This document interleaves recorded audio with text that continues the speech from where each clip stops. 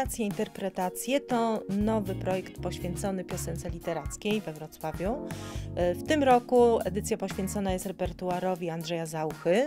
Jesteśmy już po eliminacjach wstępnych. Zaprosiliśmy do udziału młodych wokalistów, którzy chcieliby się z tym repertuarem zmierzyć i dwunastka e, młodych śpiewających osób weźmie udział w konkursie.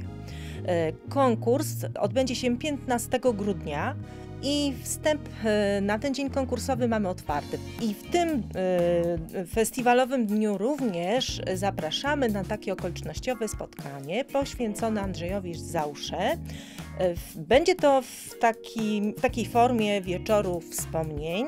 Nazwaliśmy to herbatka sentymentalna.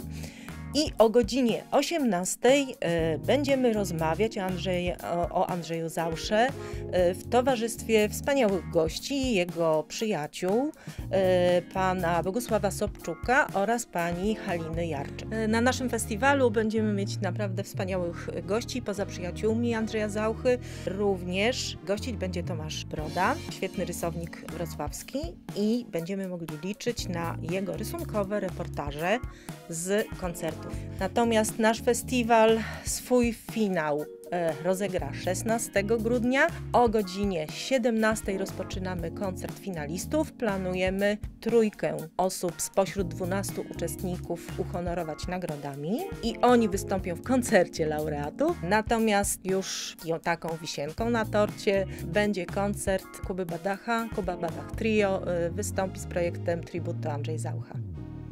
Ten koncert 16 grudnia o godzinie 17 w Światowicie jest biletowany, także bilety jeszcze są w sprzedaży.